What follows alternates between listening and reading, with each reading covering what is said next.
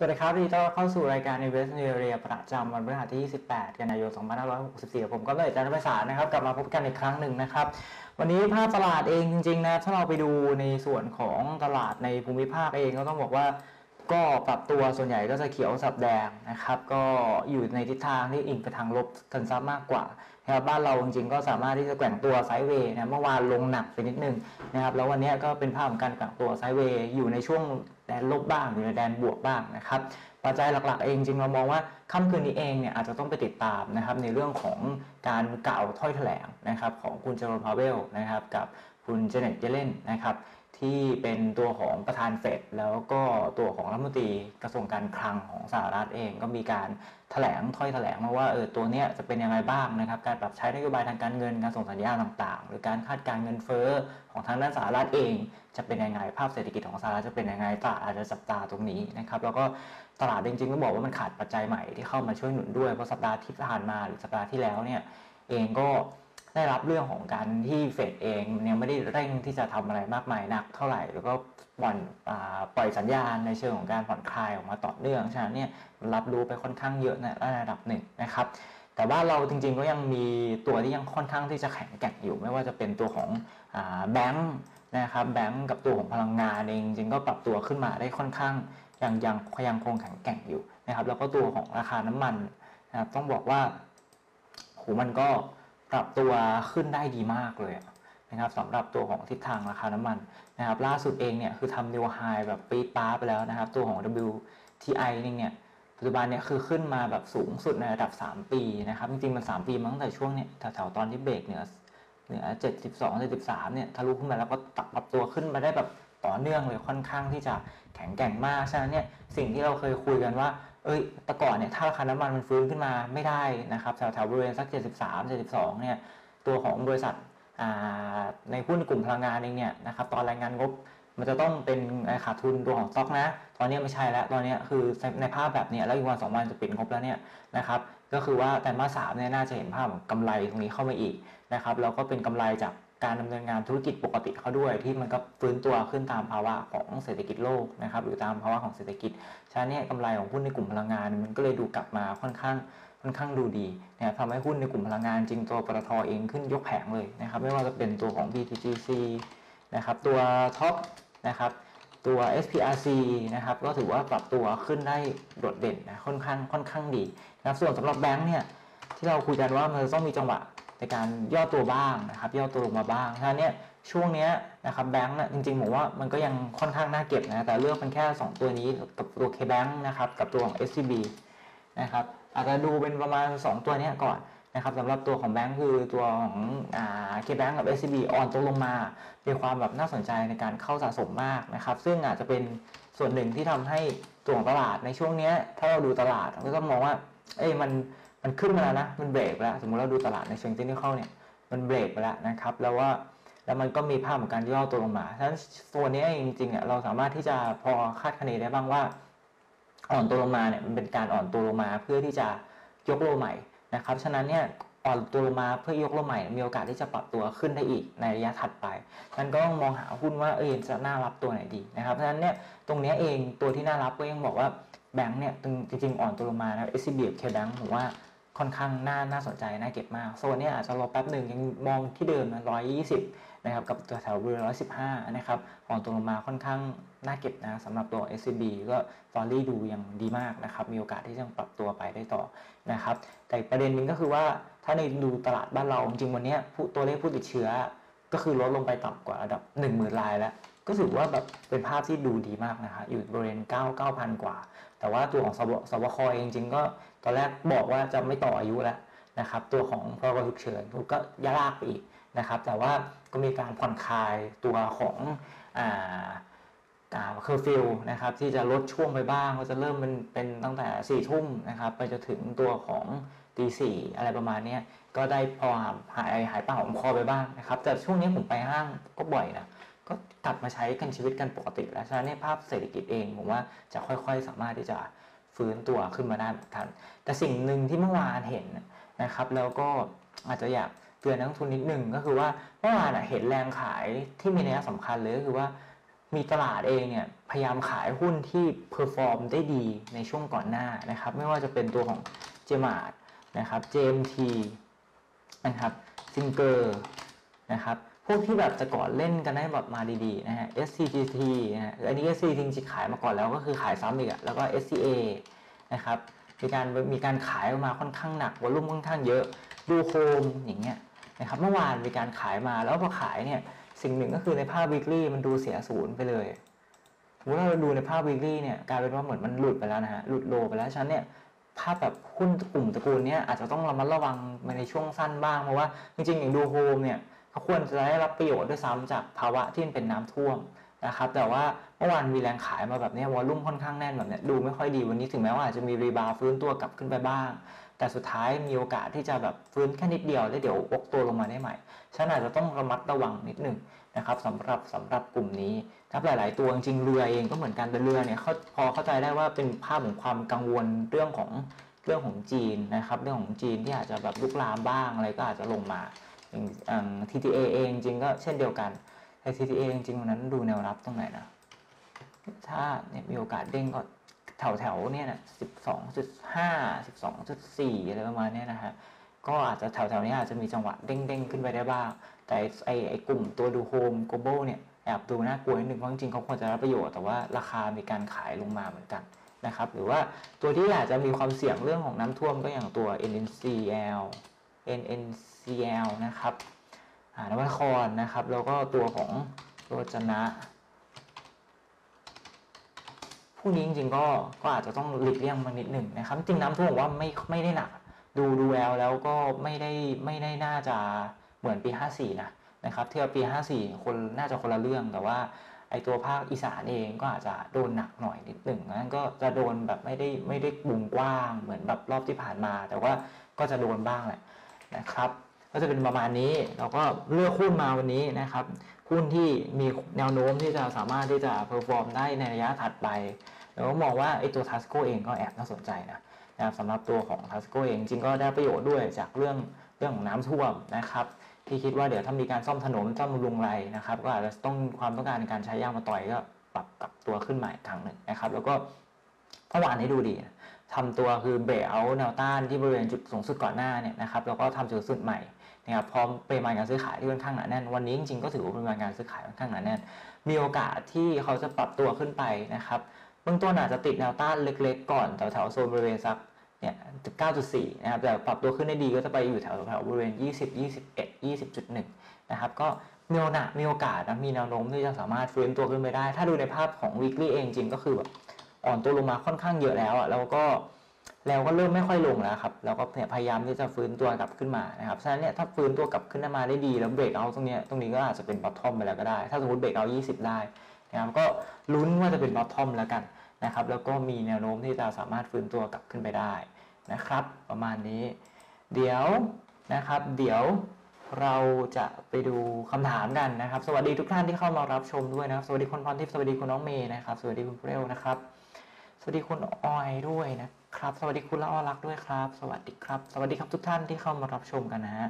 มีคำถามก็สามารถพิมพ์เข้ามาได้เลยนะครับ กลุ่มไฟแนนซ์จริงๆ กลุ่มไฟแนนซ์เองอะคือหลักๆเองกูกลัวเรื่อง SCB แต่ผมเชื่อว่าไม่มีทางที่ SCB จะไปทำได้เร็ว แล้วก็ไปลุกคือผมว่ากลุ่มตลาดอาจจะตีความอีกแบบหนึ่งคนละเรื่องกันนิดหนึ่งตรงที่ว่าอ่าตัว SCB เองผมว่ากลุ่มลูกค้าเองที่จะเป็นเน้นไปในการทำสินเชื่อที่เป็นดิจิตอลสินเชื่อมากขึ้นเนี่ย มันจะคนละกลุ่มกันนะ กับลูกค้าสินเชื่อที่ของเป็นของสวัสด์ของ MTC ที่เขาอาจจะเป็นลักย่ามากกว่าอะไรประมาณนี้นะครับ ฉะนั้นเนี่ยอย่างสวัสด์ผมว่าจุดจุดนี้ลงมานะครับมีความน่าสนใจในการเข้าซื้ออย่างวันพฤหัสเราก็บอกว่าเฮ้ยลงมาตรงบริเวณสัก 62 63เนี่ย น่ารับนะนะครับมีโอกาสที่จะฟื้นตัวกลับขึ้นไปได้ เมื่อวานมันก็ลงมาแถวบริเวณ63เนี่ยแถวๆนี้จริงๆน่าซื้อเพื่อแบบสะสมฟื้นตัวกลับขึ้นไป เพราะว่าโอกาสที่จะหลุดแนวรับด้านล่างสมมติว่าดู weekly เนี่ยมันค่อนข้างยากนะไม่ง่ายนะครับนะครับมันก็มันมันมีความแข็งแกร่งของมันนะครับ แล้วก็เครื่องมือเองมันก็เริ่มลงมาใกล้ๆภาวะโอเวอร์โซแล้วดังนั้นเนี่ยมีโอกาสที่มันจะสามารถฟื้นตัวกลับขึ้นไปได้ ตรงนี้เองลงมาก็เริ่มพยายามที่จะดีดกลับขึ้นได้บ้างแล้วนะครับ แล้วก็ตัวของอ่า Stochastic เองอยู่ในภาวะที่เป็น oversold แล้วแล้วเตรียมจะวกกลับ อันนี้เหมือนกันภาพสองชั่วโมงเขาเตรียมที่จะวกกลับแล้ว ฉะนั้นผมว่าจุดนี้เราอาจจะใช้นะครับเพื่อความชัวร์เนี่ยเราทำ frame สั้นๆนะครับเราทำ frame สั้นๆอย่างเช่นเอา2ชั่วโมงมาช่วย 2 ชั่วโมงเห็นภาพยก low เมื่อไหร่นะครับแปลว่ามันจะเริ่ม rebound ฟื้นตัวกลับขึ้นได้ดีแล้วนะครับมันอาจจะกลับขึ้นมาได้สักโซนถ้าคนเล่นขำๆก็อาจจะไปดูแนวต้านที่สัก67 68บาทนะครับแถวๆโซนบริเวณนั้นเนี่ยผมว่าก็น่าสนใจอย่างสวัสด์ สวัสด์เนี่ยถ้าดูเนี่ยแล้วหน้าที่จะซื้อแถวๆเนี้ยจะเป็นตัวสวัสด์ MTC เนี่ยอาจจะยังลงมาไม่ได้ถึงแบบโซนที่ปลอดภัยนิดนึงอย่าง MTC เนี่ยโซนด้านล่างเอง ใกล้ๆเลยก็จะอยู่แถวบริเวณสัก 56 56.5แถวโซนบริเวณนั้นนะครับหรือนะครับอยู่โซนแบบเนี้ยมันยังพอ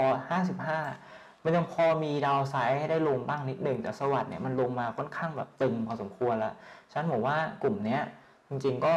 SAWAD แบบดูดีนะครับสำหรับตัวของกลุ่มไฟแนนซ์นะครับ ส่วน JMT อะอาจจะเป็นแรงขายทำกำไรบ้างระยะสั้น หลังจากที่เขาแบบ perform ดีมากแล้วนะก่อนหน้าเราก็บอกว่าเอ้ยมันน่าจะมีการอ่อนตัวลงมานะครับเนี่ยถ้าจำกันได้บริหัสบอกว่าเออเรามันระวังนะ ถ้าถ้าปัดกลับกลับขึ้นไปเหนือบริเวณ 47 กว่าๆตอนนั้นนะครับ ไม่ได้เนี่ยอาจจะต้องระมัดระวังแล้วมันก็หลุดลงมาจริงๆนะ47 48 ยืนเหนือไม่ได้อาจจะน่ากลัว แล้วมันก็หลุดลงมาจริงๆเลยไม่คิดว่ามันจะลงมาแรงตอนแรกคิดว่าสัก 46อะแล้วก็อาจจะสามารถฟื้นตัวกลับขึ้นไปได้พอทีเนี้ยพอมันหลุดลงมาหลุดลงมาแรงๆเกินต่ำกว่าระดับ 46 เนี่ย แต่ว่ามันก็มีโอกาสที่มันจะจังไหลลงมาได้ต่ออีกนิดนึง แต่ผมมองว่าในระยะกลางเนี่ย ระยะกลางระยะยาวตัวนี้ยังยังถ้าในเรื่องของงบในเรื่องของกำไรยังดี แล้วก็ปีหน้ายังสามารถที่จะมีกำไรได้ค่อนข้างดีอยู่แหละนะครับ แต่แค่ตลาดเองมันเป็นช่วงที่มันเป็นการ rotation กลุ่มนะครับ กลุ่มเนี้ย กลุ่มตระกูลพวกนี้แต่ก่อนเคยฟอร์มตัวขึ้นได้ดีนะครับเงินเงินเงินของเขาเนี่ยอาจจะเข้าไปเล่นในกลุ่มพวกนี้พอตอนนี้เขาเริ่มเห็นว่าตัวพลังงานเริ่มเริ่มเริ่มจะกลับมาดูดีแล้วนะนะครับตัวของแบงก์เริ่มจะกลับมาดูดีแล้ว มันก็ต้องมีการขายส่วนแอสเซทส่วนหนึ่งขายพอร์ตลดพอร์ตไปบ้าง ในส่วนที่ที่ซื้อมาสมมติเราเป็นผู้จัดการกองทุนมันก็ต้องเฮ้ยขายตัวเด้งขึ้นมาขายทำกำไรก่อนนิดหนึ่งแล้วก็เอาเงินส่วนหนึ่งไปซื้อกลุ่มที่กำลังจะมาใหม่ฉะนั้นในระยะเนี้ย อาจจะมีความผันผวนได้บ้างนะครับ ราคาจะมีการผันผวนหรืออิงทางลงลงมาได้บ้าง เพื่อไปมองหาอีกลุ่มหนึ่ง แต่สุดท้ายแล้วเนี่ยด้วยความที่บริษัทของเขาแบบธุรกิจเขามันก็ยังดี แล้วก็ผมไม่ได้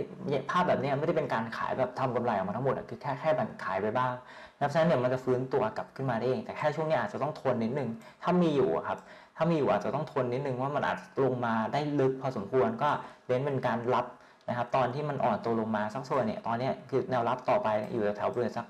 42 บาทแล้วนะครับ 42 บาทแถวบริเวณโซนนี้อาจจะมีโอกาสอ่อนตัวลงมาได้อีกครั้งก็ทยอยทยอยรับไป แต่ถ้าคนไม่มีอยู่ก็คือรอรับด้านล่างนะครับ คนไม่อยู่จริงๆ ถ้าขายไม่ทันนะ สมมติเพราะเราตอนนั้นเราบอกว่าถ้าหลุดปุ๊บแถวๆด้านบนเนี่ยจจะต้องขายก่อน ถ้าขายไม่ทันนะครับ ลองมารับเพิ่มแถวๆบริเวณด้านล่างนะครับ ตัว GMT เนาะติดล้อนะครับ ติดล้อเนี่ยก็ยังดูไม่ค่อยดีเท่าไหร่ครับ คือมันพอมันหลุดมาเนี้ยมันเลยดูไม่ค่อยน่าสนใจเท่าไหร่มันอาจจะมีรีบาวกลับขึ้นมาบ้างนะครับแนวต้านอยู่แถวโซนบริเวณสัก 37 แต่ว่ามันยังเป็นโซนที่ยังไม่น่าซื้อจริง ๆ เพราะว่าราคามันจะไม่เหมือนตัวสวัสด์ MDC เมื่อกี้ที่มันยังอยู่ลงมาตรงที่เป็น low ด้านล่างเราไม่ได้ทำ low ใหม่เหมือนในภาพของเทคนิคเนี่ยแต่ตัวนี้มันทำ low ใหม่แล้วมันเป็นขาลงเต็มตัวแบบนี้อาจจะไม่ค่อยดูดีเท่าไหร่นะครับอาจจะหลีกเลี่ยงออกไปก่อน MCC เมื่อกี้ไปแล้วนะครับ ก็ ถือว่ารอนิดนึงดีกว่าสำหรับ MCC สวัสด์เองน่าลุ้นมากกว่านะครับ SINGER นะครับ SINGER จริงก็เหมือนกันนะคล้ายๆกับ JMT อะครับดูมันแบบแค่พักฐานแต่ SINGER เนี่ยตอนนี้ต้องลุ้นว่าอย่าต่ำกว่าโซนบริเวณสัก 40 นะครับ 40 ตรงเนี้ยถ้าวันสองวันยืนได้ แล้วก็มีแท่งเขียวกลับมา มีโอกาสที่จะรีบาวกลับขึ้นไปโซนด้านบนนะสำหรับตัวของซิงเกอร์ถ้าแถวโซนบริเวณ45 แต่ถ้ายืนเหนือ 40 ไม่ได้ ต้องระมัดระวังนิดหนึ่งนะครับ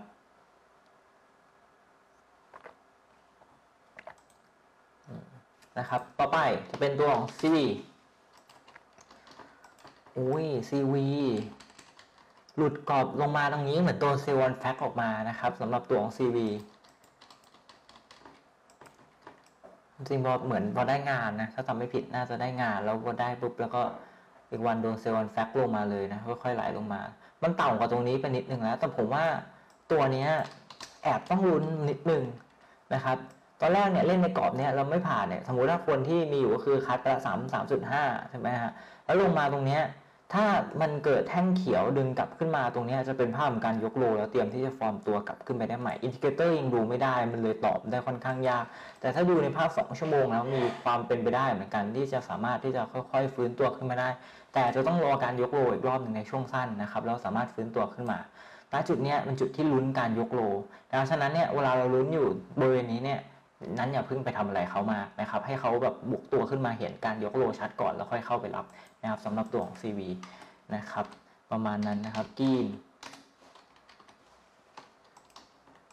GREEN เล่นเก่งกำไรพอได้อยู่นะครับ ตอนนี้ก็แกว่งอยู่ในกรอบแบบเนี้ยนะนี่เคยตีไปแล้วนะครับแก่งแกว่งอยู่ในกรอบแบบ sideway up นะครับ sideway up ตรงนี้ก็พยายามเกาะล้อเส้น EMA 10 วันอยู่ ก็พยายามขึ้นไปได้ แต่ว่าเล่นแบบเล่นเก่งกำไรแบบสั้นๆนิดหนึ่งนะครับสำหรับตัวนี้คือขึ้นมาโซนบริเวณด้านบนเนี่ยอาจจะต้องขายขายทิ้งออกไปก่อนแหละบริเวณสักร้อยอ่าสองร้อยสองจุดสองศูนย์นะครับอะไรประมาณนี้ แล้วก็วันนี้ถ้าสมมุติราคาปิดสูงกว่าโซนบริเวณบาท 99 นะครับจุดสต็อปจะยกขึ้นมาเป็นบาท 99 นะครับ ราคาปิดห้ามต่ำกว่าบาท 99 เด็ดขาดนะครับปิดต่ำกว่าเมื่อไหร่ แล้วก็อาจจะไปทันทีนะครับมันจะดูไม่ค่อยดีเท่าไหร่ละควรจะยืนเหนือ 2 บาทให้ได้นะครับสำหรับตัวของกีนนะครับ K-Bank K-Bank ก็ขึ้นมาเยอะแล้วนะครับ อาจจะมีการย่อตัวลงมาแต่ผมว่าย่อตัวลงมาน่าเก็บ ยังไงก็น่าเก็บนะโซนร้อยเป็นร้อยสามสิบนะครับร้อยสามสิบร้อยยี่สิบเจ็ดกลุ่มแบงค์พวกเนี้ยโดยเฉพาะ K-Bank SCB ที่มีเรื่องของที่มันหลุดพ้นจากเทคโนโลยี disruption ไปแล้วเนี่ยนะครับมีแนวโน้มที่จะพอ perform ตัวได้ดีมากๆ นะครับ เพราะฉะนั้นผมตีแบบต่อระยะถัดไปมีโอกาสที่ยังไปได้อีก แต่ว่าแค่ช่วงเนี้ยพอเล่นขึ้นไปในระดับหนึ่งแล้วเนี่ยเดี๋ยวมันจะต้องมีการย่อตัวลงมานะครับเพื่อปรับฐานบ้างแค่นั้นเองแหละแล้วเป็นการย่อตัวลงมาเพื่อปรับฐานเพราะว่ามันขึ้นมาเนี่ยมันมีความร้อนแรงมากจนเกินไปฉะนั้นจะเป็นการอ่อนตัวมาเพื่อปรับฐาน ถ้าไม่อยู่ถือต่อครับไม่มีปัญหาใด ๆนะครับแล้วแต่บางท่านอาจจะแบบเอออยากขายทำกำไรมันกลัวมันจะลงไม่ไม่ลึกมากเลยจะแบบขายหมูมากกว่า แต่ว่าคือถ้าท่านที่ไม่มีเนี่ยรอทยอยรับเลยร้อยสามสิบนะครับร้อยยี่ห้าอะไรประมาณเนี้ยสามารถที่จะแบบทยอยทยอยเก็บได้วางสต็อปอะณตอนเนี้ยเล่นแบงก์อะอย่าไปตั้งจุดคัดแบบสั้นนะครับ ให้ตั้งยาวนิดนึงเพราะเราหวังเอาระยะยาวเนี่ยมมติเราเคแบงค์เงี้ยเราเห็นแล้วถ้าทรงมาแบบนี้นะครับ มีโอกาสที่แบบจะไปได้โซนเวร้อยแปดสิบสองร้อยเนี่ยมีแนวโน้มที่จะไปได้ แต่ว่าถามว่ามันจะไปเลยไหมทีเดียวมันคงไม่ใช่ มันก็คือ เนี่ยมันก็ขึ้นมานะครับแล้วมันก็ลงแบบนี้อันนี้ก็คือแบบทำฟอร์มขึ้นมาใหม่ก่อนจะขึ้นอย่างอย่างตรงเนี้ยรอบเนี้ยที่ไปไปไปถึงตรงเนี้ยเนี่ยมันก็ใช้เวลาต้องโหต้องเท่าไหร่อะตั้งแต่เดือนเดือนไหนว่า อันนี้เดือนประมาณปลายปีที่แล้วขึ้นมาตรงช่วง ช่วงประมาณประมาณประมาณประมาณหนึ่งไตรมาสนะสามเดือนอะไรประมาณเนี้ยนะครับ ประมาณสามสี่เดือนอะนี่ก็เหมือนกันนะฮะแล้วขึ้นขึ้นมาแค่เดือนเดียวอาจจะ ประมาณสามสี่เดือนกว่าจะขึ้นไปจนถึงด้านบนอะไรประมาณเนี้ยฉันอาจจะต้องรอหรืออาจจะมีการย่อลงมา วางจุด stop อะอาจจะต้องลึกหน่อยนะครับแล้วก็เน้น run ยาวคือไม่เอาแล้วว่าซื้อแบงก์แล้วก็ต้องเอาทีละแบบห้าเปอร์เซ็นต์สิบเปอร์เซ็นต์เอาทีแบบสักสามสิบห้าสิบเปอร์เซ็นต์ไปเลยในในในช่วงระยะนี้ก่อนฉะนั้นเนี่ยจุด stop บางทีต้องวางกว้างนิดนึงแล้วลงมาทยอยทยอยสะสมนะครับสำหรับการเล่นรอบใหม่น่าจะดึงแบงก์ขึ้นไปได้ดีอีกครั้งหนึ่งก็ทยอยรับฮะก็ทยอยรับสำหรับตัวของ K-Bank นะครับ SCB เช่นเดียวกัน SCB ดูภาพมันเรียผมจะบอกว่าคือดูดีมากนี่ อันนี้คือภาพมันลี่นะ ภาพที่แบบตั้งแต่ปี15ครับ ที่เขาเป็นขาลงอะเนี่ยมันเพิ่งเบรกไปได้นะครับ คือมันไม่ใช่ขาลงอีกต่อไปแล้ว แต่ภาพมันลี่แปลว่าการฟอร์มตัวหลังจากนี้จะเริ่มเป็นการฟอร์มตัวขึ้นแล้วนะครับจะเริ่มเป็นการฟอร์มตัวขึ้นได้ดี เป็นการขึ้นรอบใหม่ได้ดีนะครับสำหรับตัวของ SCB นะครับ ดูดีอะ ดูดีมากนะครับ ก็น่ารับอะเนี่ย ย่อลงมานะตอนตามที่บอกนะร้อยยี่สิบร้อยสิบห้านะครับ รับได้เลยแหละนะครับ True True น่าจะยังไปได้ต่อนะครับก็คือก่อนหน้าเนี้มันอาจจะขึ้นไปติดแนวต้านนิดนิดนึงตรงนี้ถ้าเราดูโอ้ย ถ้าดูเนี่ยคือขึ้นไปติดแนวต้านมันพอมันพอมันเบรกตัวของเส้นนี้ได้ที่เราเคยคุยกันพอมันเบรกได้ปุ๊บมันยิงยาวขึ้นมานิดนึงเนาะแล้วมันก็ไปติดแนวต้านลงบริเวณสักสี่บาทกว่า